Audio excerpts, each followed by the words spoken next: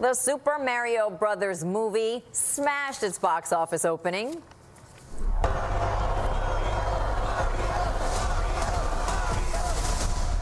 All right, let's go. The Universal Pictures movie, based off of the Nintendo game series, made $377 million in worldwide ticket sales. That's the top opening of all time for an animated film, icing out Frozen 2. The video game movie also earned the top opening of the year to date. Universal Pictures, along with NBC News, are part of the Comcast Corporation. Right. It's amazing that you know this is something from a while back, brought back, super Right. popular for it seems like all generations there, Maria. Yeah, absolutely. Um, and that, that music, it sort of also brings back the memories of hours of playing that. So good times. I love that.